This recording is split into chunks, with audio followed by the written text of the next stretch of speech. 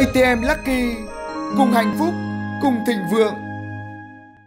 Từ ngày 1 tháng 5, du khách đến Singapore bằng đường hàng không có thể sử dụng thẻ thông hành của Hiệp hội Vận tải Hàng không Quốc tế IATA. Đây là một phần trong hợp tác hiện tại giữa Cơ quan Hàng không Dân dụng Singapore CAAS và IATA.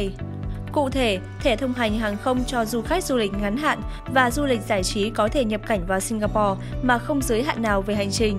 Trước đó, Singapore đã áp dụng hình thức mở cửa đơn phương với nhiều quốc gia và vùng lãnh thổ. Ước tính có hơn 18.200 du khách đã đến với đảo quốc bằng hình thức thẻ thông hành hàng không. Trong đó có 70% du khách đến từ Trung Quốc, khoảng 1.000 du khách đến từ Việt Nam, theo Tổng cục Du lịch Singapore. Du khách đến với Singapore bằng thẻ thông hành hàng không phải xét nghiệm PCR COVID-19 khi nhập cảnh vào Singapore, tự thuê phương tiện riêng để đến với điểm lưu trú và cách ly tại đó trong lúc chờ kết quả. Hình thức này hiện đang áp dụng cho các nước Úc, Brunei, Trung Quốc, New Zealand và lãnh thổ Đài Loan.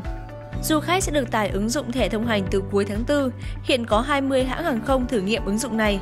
Khách đến với Singapore và có ý định sử dụng thẻ thông hành nên kiểm tra với hãng bay để đảm bảo có đủ điều kiện sử dụng.